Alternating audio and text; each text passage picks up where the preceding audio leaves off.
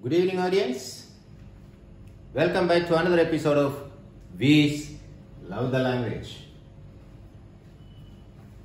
I hope you guys are doing well, keeping good health, and observing strictly the COVID protocol.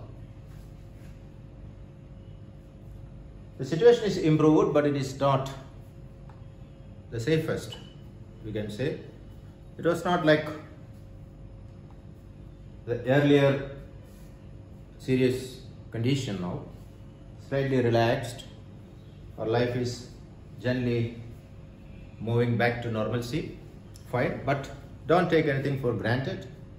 Don't be careless when you interact with others. Keep safe distance.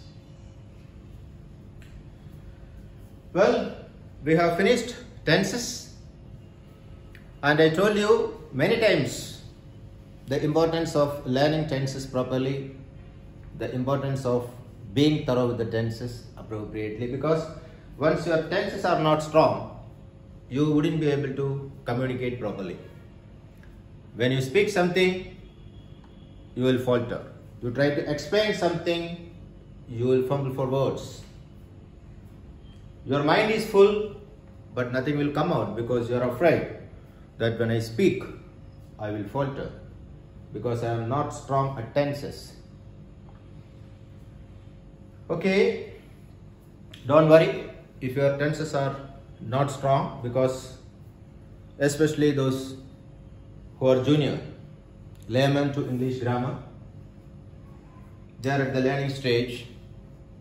Beginners, they have to learn a lot, apply their mind.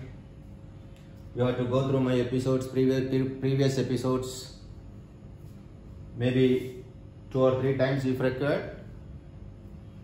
Don't worry, I am going to give you a situation wherein you will have to explain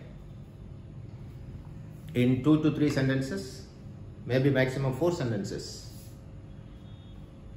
Like this, uh, three or four weeks I will take you through unless I am sure that you are thorough with the tenses. You will get practice how to form sentences and you will have to spot the tenses used in those sentences. I am not going to help you out in this regard because again and again if I take you through the tenses and explaining what tense is this, what tense is used in this sentence, again I will be going back to back to square one. I will not be able to move forward. Definitely I will move forward along with you. Okay. So here is the situation. You are late to the class. Your professor is a tough guy. He or she is asking you the explanation. Professor is asking you, yes, why are you late? You are about to step into the class. You are at the doorstep. You are stopped. Why are you late? First you explain and then I will decide whether to let you in or out. Good? Sir, this is how you address your professor, either sir or ma'am, madam, or as per your you know, school, college protocol. But this is typical Indian style. Your first sentence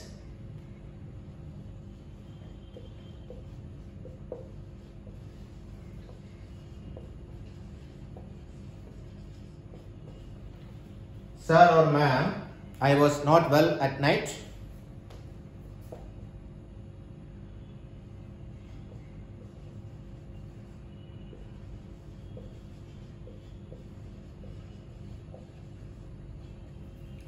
So I had medications.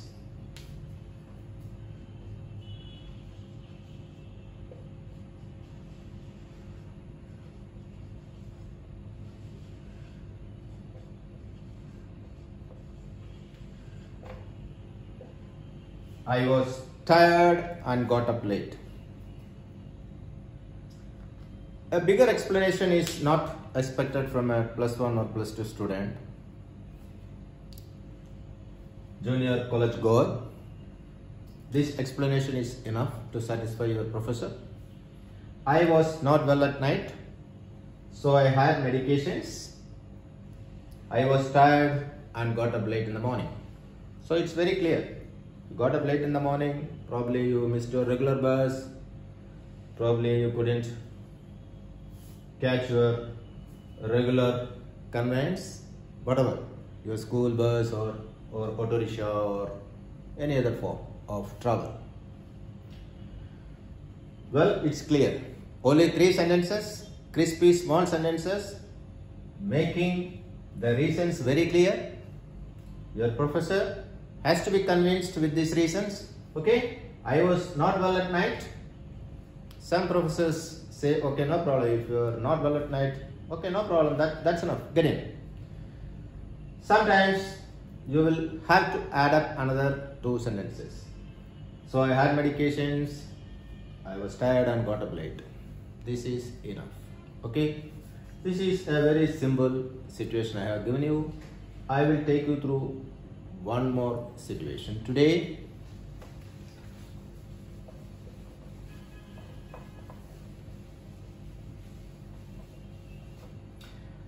And by experience, I think everyone knows giving medical reason is the is the hit reason. When you quote a medical problem for being late or for failing to perform some duty, when you say I was ill, my child was ill, somebody was not keeping well at home, I think that's well begun. It's it's a it's the most uh, popular reason quoted by people for being late. Well, the second situation, you are an executive in an office, senior executive, and there is a there is a presentation in the morning today uh, involving all HODs, and you have to arrange everything. Okay, you are the person. You have to ensure that the, the conference hall is in proper format the IT uh, equipments in place, systems in place, everything is working fine, AC is working fine. And at 9.30 you have to give a ready report to your head, sir, the conference hall is ready uh, for the meeting, for the presentation. But unfortunately, you are late. And your head is furious. He is asking you, why are you late? What will you say? First of all, you are puzzled. You are not in a right frame of mind you because you know you committed a mistake knowingly or unknowingly. Knowingly, probably nobody would commit any mistake. Nobody would come late to the office knowingly. But maybe situational pressure because of which we all get to office one day or other. So when you are asked, why are you late? It was such an important program, important session, important duty in the office, and you are late, you irresponsible guy. Probably your head is losing its cool. Say, sir, again. In some offices, we address by name, so it's up to the protocol of the office. Sir or madam, whatever. Again,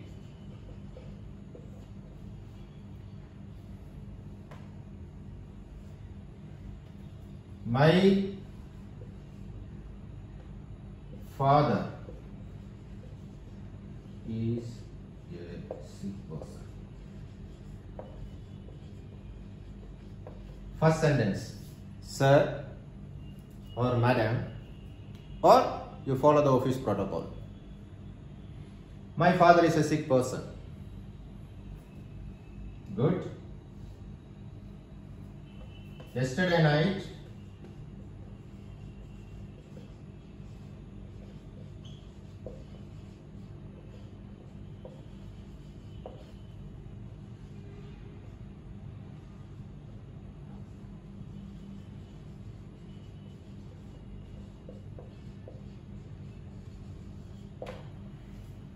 My father is a sick person.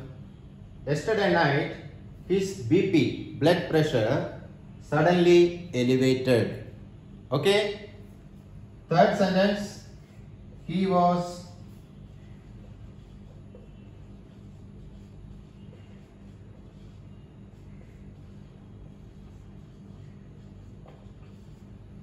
he was taken to hospital.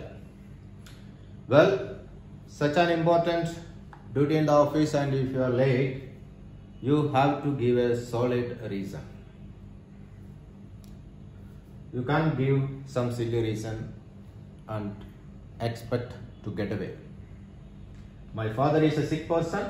Yesterday night, his BP blood pressure suddenly elevated. He was taken to hospital and probably the last and fourth sentence